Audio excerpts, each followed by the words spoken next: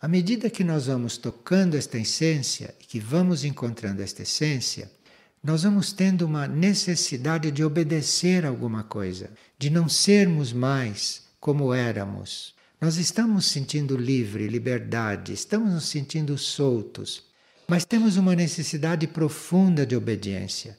Temos uma necessidade profunda de ter algo que nos dê uma referência, de ter algo que nos guie, mas isto em tudo. E à medida que nós vamos tendo esse contato, à medida que vamos sentindo isto, mais necessidade temos de sermos conduzidos, de sermos guiados.